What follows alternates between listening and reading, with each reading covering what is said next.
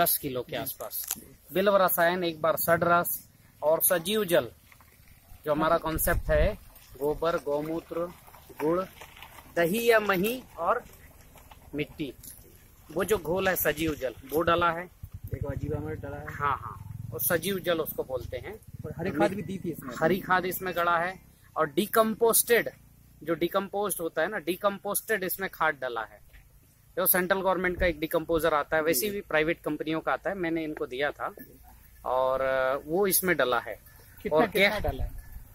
हरी खाद इसमें। कंपोस्ट कितना डाला है? कितना- कितना- कंपोस्ट लगभग होगा तीन से चार टाली तीन ट्रैक्टर तीन ट्राली पर एकड़। इतना पूरे खेत में लगभग डेढ़ एकड़ खेत होगा जी। हाँ हाँ। और आपका अम, हरी ये खाद? हरी खाद तो उसमें बो दिए थे अपन पर्याप्त हो गया तो। मिला कितना डाला? इसमें डाला था अपन पर एकड़ हाँ दस किलो चने बोया था। और पाँच किलो बोया था अपन जवान बोई थी। मक्का बोए थे दो एक किलो। दिया। मिक्स जो सडरस वाला कॉन्सेप्ट है वो इन्होंने किया था। मिक्स करके वो हो गया जब लगभग पैंतालीस दिन का हो गया तो उसके बाद मिक्स कर दिए मिट्टी में उसको। फ्लावर आने के पहले। है ना? सडरस डाला है। मक्का को। हाँ। मक्का और सन ढांचा बोलते हैं ढांचा। बैंचा। हाँ, हाँ। एक ज्वार करके आती है। हाँ। ज्वार वो तीनों मिला के उसको अंदर डाल दिया। अंदर पैंतालीस चालीस पैंतालीस दिन में उसको मिट्टी में ला दिया। ओके उसके बाद मचा मच, मचा के उसमें धान लगा दिया।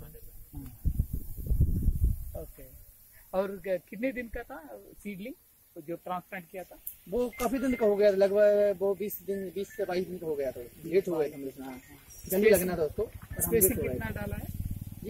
स्पेसिंग दो कितना लगा? ये दस बाई दस इंच दस बाई दस बाई हाँ आप सीधे इनके घर आ जाओ दस बाई बीस दस बाई दस घर आ जाइए आप है ना आपको क्या लगता है कितना होगा।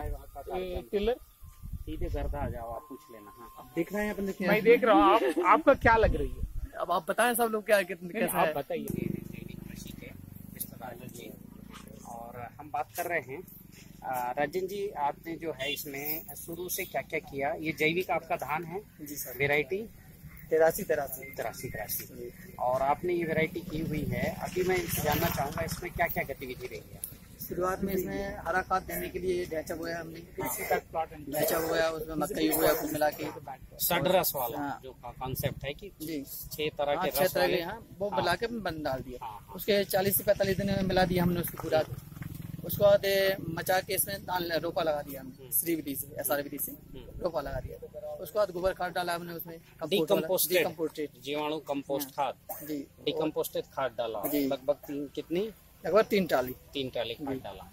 उसके बाद सजीव जल डाला उसमें। सजीव जल। कितने बार? तीन से चार बार सजीव जल अच्छा तीन से चार बार सजीव जल। और क्या डाला है? बील रस डाला इसमें। बिल्व रसायन आपने डाला। सडरस सररस भी डाला इसमें। एक एक बार डाला सररस और बील रस एक बार डाला। हाँ, सडरस और बिल्व रसायन एक एक बार डाला है हम देखते हैं बिल्कुल लीफ एकदम बिल्कुल हरी कच्च है। और हुमस्ट का भी स्प्रे किया था हमने उसको कंडे वाले का कंडे वाले का। हाँ श्री रसायन का भी स्प्रे किया। जी जी जी है? और आप देखिए बिल्कुल कहीं कोई बीमारी नहीं है। और